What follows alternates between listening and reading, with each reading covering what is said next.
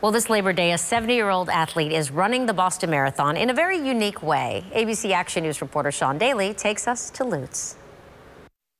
Guys, this is so inspiring. David Jacobs, my new hero, 70 years young, is virtually running the Boston Marathon.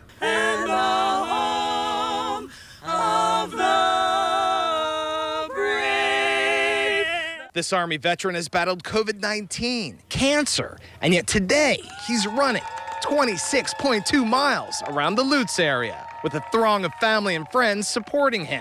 This is David's 19th Boston Marathon. The traditional race was canceled in April, but this month they're giving qualifiers a chance to run it on their own. David's hoping to complete it in under five hours today. A little different this year, but it's still Boston to me.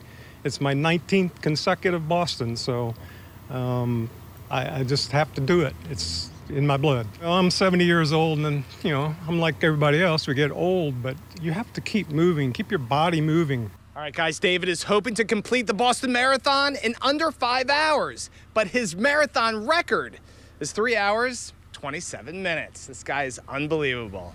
Back to you. Oh, pretty cool. Thank you, Sean.